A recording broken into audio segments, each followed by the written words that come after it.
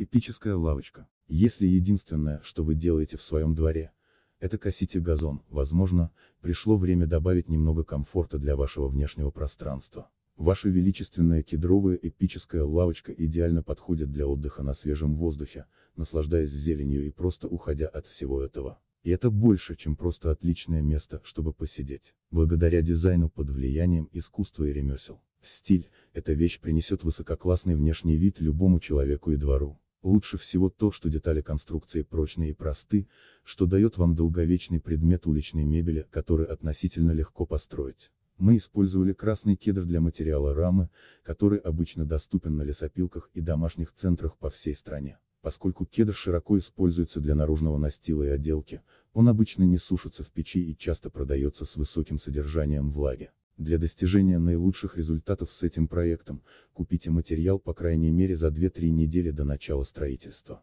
Штабелируйте пиломатериалы в сухом месте с прокладками между досками, обеспечивая хорошую циркуляцию воздуха, чтобы материал высох. И обязательно используйте клей, предназначенный для наружного применения. Мы использовали тетебонд, а я и для сборки нашей скамейки.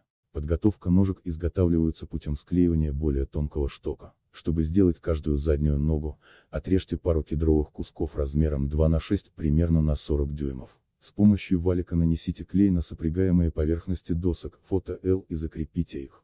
Две пары вместе образуют заготовки для ног. Для передних ног выполните ту же процедуру. Когда клей высохнет, используйте ленточную пилу, чтобы обрезать их до 2% толщины. Затем распилите передние лапы на 2% внутрь от всей площади. Выровняйте срезанные поверхности рубанком и подрежете передние ножки до готовой длины. Выложите боковые профили на столешницу. Задние ножки на кедровых заготовках, фото 2 срезают и выбрасывают в отходы.